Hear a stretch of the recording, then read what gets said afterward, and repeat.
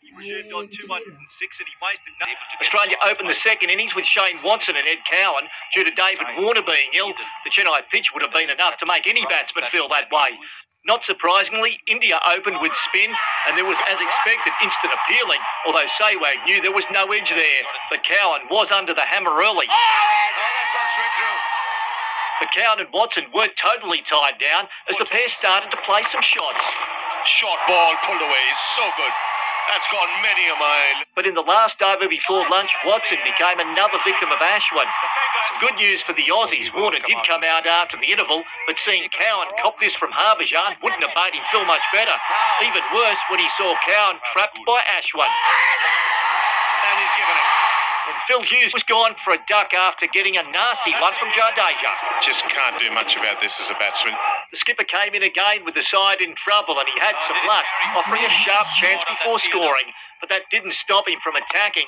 But even saving this game seemed mission impossible for Clarke. That's a six. And it was made even tougher when Warner fell to Harbhajan.